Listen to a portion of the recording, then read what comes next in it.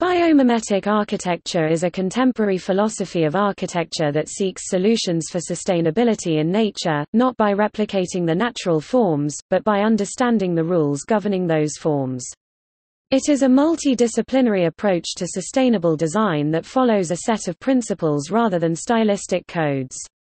It is part of a larger movement known as biomimicry, which is the examination of nature, its models, systems, and processes for the purpose of gaining inspiration in order to solve man-made problems.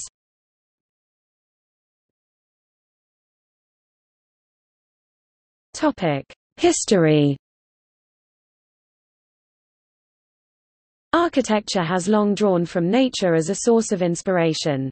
Biomorphism, or the incorporation of natural existing elements as inspiration in design, originated possibly with the beginning of man-made environments and remains present today. The ancient Greeks and Romans incorporated natural motifs into design such as the tree-inspired columns. Late antique and Byzantine arabesque tendrils are stylized versions of the acanthus plant. Varro's aviary at Casinum from 64 BC reconstructed a world in miniature. A pond surrounded a domed structure at one end that held a variety of birds. A stone colonnaded portico had intermediate columns of living trees. The Sagrada Familia Church by Antoni Gaudí begun in 1882 is a well-known example of using nature's functional forms to answer a structural problem. He used columns that modeled the branching canopies of trees to solve statics problems in supporting the vault. Organic architecture uses nature-inspired geometrical forms in design and seeks to reconnect the human with his or her surroundings. Kendrick Bangs Kellogg, a practicing organic architect, believes that above all, organic architecture should constantly remind us not to take Mother Nature for granted, work with her and allow her to guide your life. Inhibit her, and humanity will be the loser. This falls in line with another guiding principle, which is that form should follow flow and not work against the dynamic forces of nature. Architect Daniel Lieberman's commentary on organic architecture as a movement highlights the role of nature in building. A truer understanding of how we see, with our mind and eye, is the foundation of everything organic. Man's eye and brain evolved over eons of time, most of which were within the vast untrammeled and unpaved landscape of our Edenic biosphere. We must go to nature for our models now, that is clear. Organic architects use man-made solutions with nature-inspired aesthetics to bring about an awareness of the natural environment rather than relying on nature's solutions to answer man's problems. Metabolist architecture, a movement present in Japan post-World War II, stressed the idea of endless change in the biological world. Metabolists promoted flexible architecture and dynamic cities that could meet the needs of a changing urban environment. The city is likened to a human body in that its individual components are created and become obsolete, but the entity as a whole continues to develop. Like the individual cells of a human body that grow and die although human body continues to live, the city, too, is in a continuous cycle of growth and change. The methodology of metabolists views nature as a metaphor for the man-made. Kisho Kurokawa's Helix City is modeled after DNA, but uses it as a structural metaphor rather than for its underlying qualities of its purpose of genetic coding. Biomimetic architecture goes beyond using nature as inspiration for the aesthetic components of built form, but instead seeks to use nature to solve problems of the building's functioning. Biomimicry means to imitate life and originates from the Greek words bios life and mimesis imitate. The movement is a branch off of the new science defined and popularized by Janine Benyus in her 1997 book Biomimicry, innovation inspired by nature as one which studies nature and then imitates or takes inspiration from its designs and processes to solve human problems. Rather than thinking of the building as a machine for living in, biomimicry asks architects to think of a building as a living thing for a living being.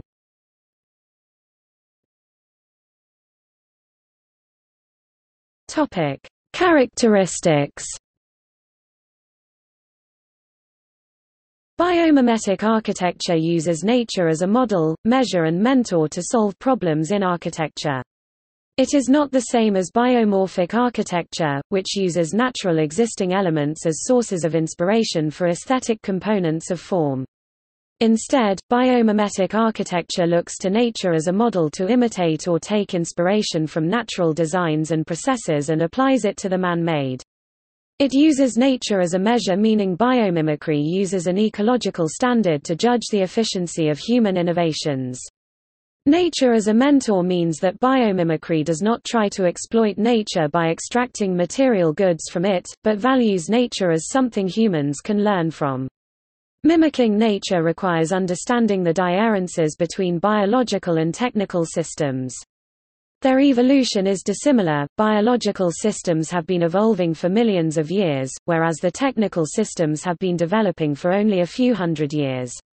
Biological systems evolved based on their genetic codes governed by natural selection, while technical systems developed based on human design for performing functions.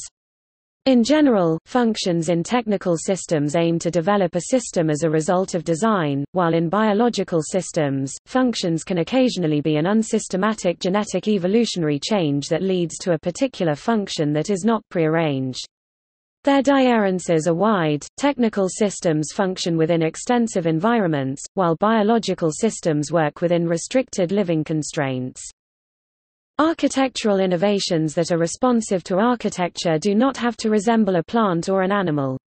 Where form is intrinsic to an organism's function, then a building modeled on a life form's processes may end up looking like the organism too. Architecture can emulate natural forms, functions and processes. Though a contemporary concept in a technological age, biomimicry does not entail the incorporation of complex technology in architecture.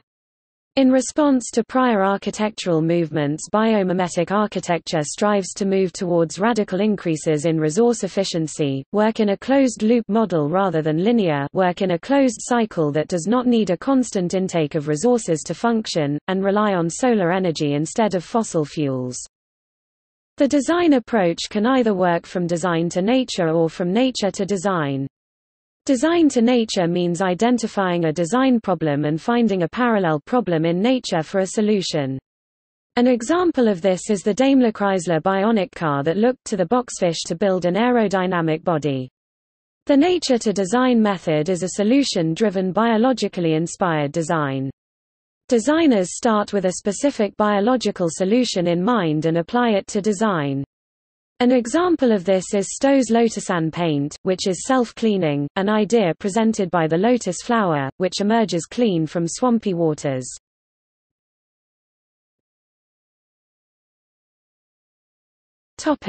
Three levels of mimicry Biomimicry can work on three levels, the organism, its behaviors, and the ecosystem. Buildings on the organism level mimic a specific organism.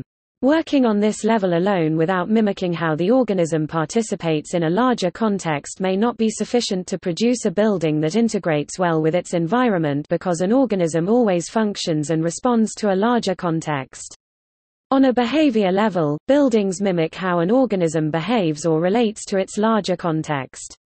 On the level of the ecosystem, a building mimics the natural process and cycle of the greater environment. Ecosystem principles follow that ecosystems 1 are dependent on contemporary sunlight, 2 optimize the system rather than its components, 3 are attuned to and dependent on local conditions, 4 are diverse in components, relationships and information, 5 create conditions favorable to sustained life, and 6 adapt and evolve at different levels and at different rates. Essentially, this means that a number of components and processes make up an ecosystem and they must work with each other rather than against in order for the ecosystem to run smoothly. For architectural design to mimic nature on the ecosystem level it should follow these six principles.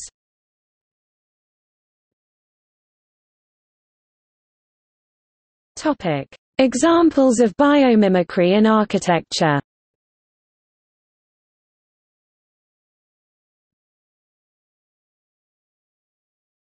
Topic: Organism level. On the organism level, the architecture looks to the organism itself, applying its form and or functions to a building. Norman Foster's Gherkin Tower 2003 has a hexagonal skin inspired by the Venus flower basket sponge. This sponge sits in an underwater environment with strong water currents and its lattice-like exoskeleton and round shape help disperse those stresses on the organism. The Eden Project 2001 in Cornwall, England is a series of artificial biomes with domes modeled after soap bubbles and pollen grains. Grimshaw architects looked to nature to build an effective spherical shape. The resulting geodesic hexagonal bubbles inflated with air were constructed of ethylene tetrafluoroethylene ETFE, a material that is both light and strong. The final superstructure weighs less than the air it contains.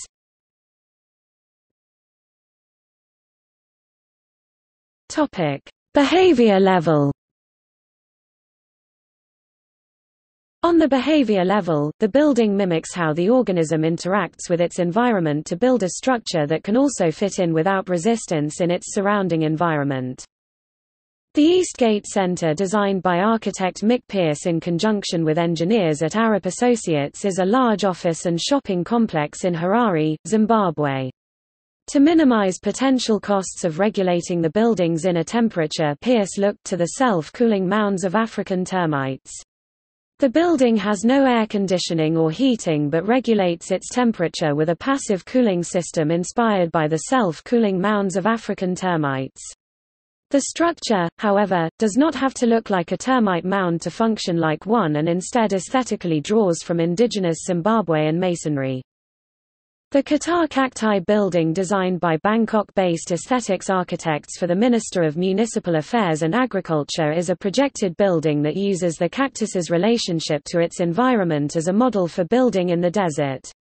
The functional processes silently at work are inspired by the way cacti sustain themselves in a dry, scorching climate.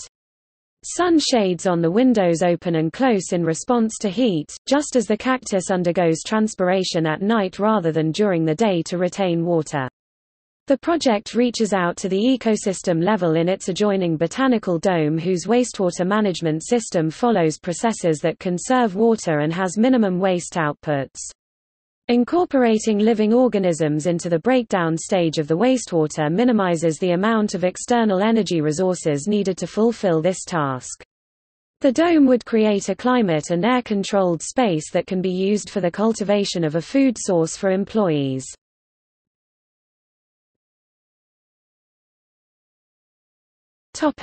Ecosystem level Building on the ecosystem level involves mimicking of how the environment's many components work together and tends to be on the urban scale or a larger project with multiple elements rather than a solitary structure. The Cardboard to Caviar project founded by Graham Wiles in Wakefield, UK is a cyclical closed-loop system using waste as a nutrient. The project pays restaurants for their cardboard, shreds it, and sells it to equestrian centres for horse bedding.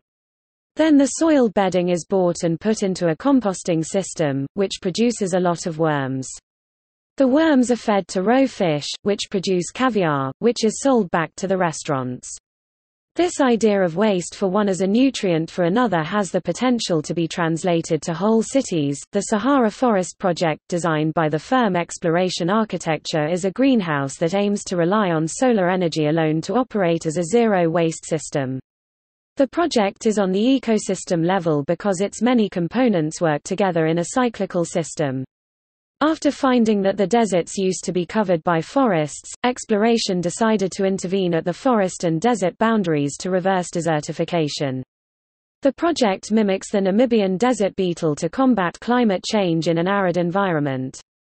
It draws upon the beetle's ability to self-regulate its body temperature by accumulating heat by day and to collect water droplets that form on its wings. The greenhouse structure uses saltwater to provide evaporative cooling and humidification. The evaporated air condenses to fresh water allowing the greenhouse to remain heated at night. This system produces more water than the interior plants need so the excess is spewed out for the surrounding plants to grow. Solar power plants work off of the idea that symbiotic relationships are important in nature, collecting sun while providing shade for plants to grow. The project is currently in its pilot phase. Lavasa, India is a proposed 8,000-acre city by Hock, Hellmuth, Obata, and Kassabaum planned for a region of India subject to monsoon flooding. The Hock team determined that the site's original ecosystem was a moist deciduous forest before it had become an arid landscape. In response to the season flooding, they designed the building foundations to store water like the former trees did. City rooftops mimic native the banyan fig leaf looking to its drip tip system that allows water to run off while simultaneously cleaning its surface. The strategy to move excess water through channels is borrowed from local harvester ants, which use multi-path channels to divert water away from their nests.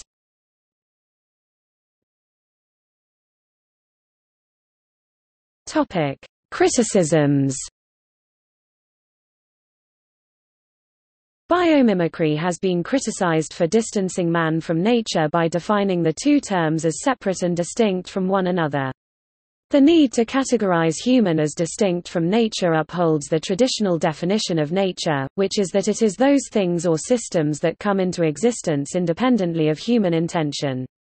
Joe Kaplinsky further argues that in basing itself on nature's design, biomimicry risks presuming the superiority of nature-given solutions over the man-made. In idolizing nature's systems and devaluing human design, biomimetic structures cannot keep up with the man-made environment and its problems. He contends that evolution within humanity is culturally based in technological innovations rather than ecological evolution. However, architects and engineers do not base their designs strictly off of nature but only use parts of it as inspiration for architectural solutions. Since the final product is actually a merging of natural design with a human innovation, biomimicry can actually be read as bringing man and nature in harmony with one another.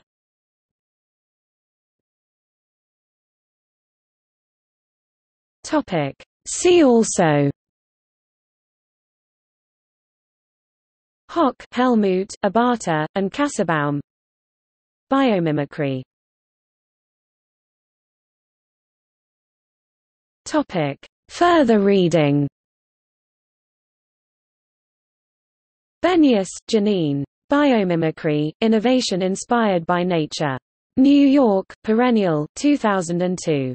ISBN 978-0060533229. Biomimicry 3.8 Institute. Biomimicry 3.8 Institute, http colon biomimicry.net. Pawlyn, Michael. Biomimicry in Architecture. London, RIBA Publishing, 2011. ISBN 978-1859463758 Vincent, Julian. Biomimetic Patterns in Architectural Design. Architectural Design 79, No. 6 2009, 74–81. DOI, 10.1002, AD.982 Al-Obaidi, Karam M., al., Biomimetic Building Skins, An Adaptive Approach. Renewable and Sustainable Energy Reviews 79 2017, 1472–1491. DOI 10.1016 J.RSER.2017.05 028